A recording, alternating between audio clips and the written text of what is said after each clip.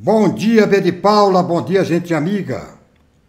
Se não tivesse sido detonada em 15 de janeiro de 1985, com a eleição de Tancredo Neves para presidente, a ditadura de 64 estaria completando hoje 59 anos.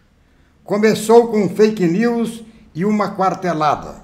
A mentira, o fake news, foi o mantra da ameaça comunista e a quartelada explodiu em Juiz de Fora, de onde, à frente da quarta divisão militar, o general Olímpio Mourão Filho estartou o golpe que derrubou o presidente João Goulart.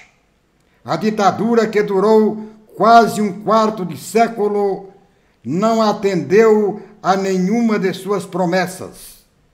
A corrupção, protegida pela censura, assumiu status de licitude.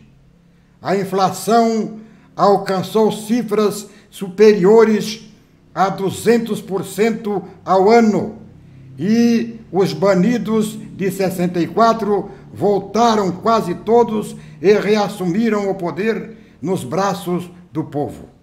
Foi uma ditadura com todos os ingredientes dos regimes de exceção: prisões ilegais, cassações de mandatos, tortura e cemitérios clandestinos. Como tudo que não presta, tem sempre alguém que se presta a defender, há forte movimento hoje pela exumação da ditadura enterrada viva em 1985. De minha parte, ditadura nunca mais. Falei e tá falado.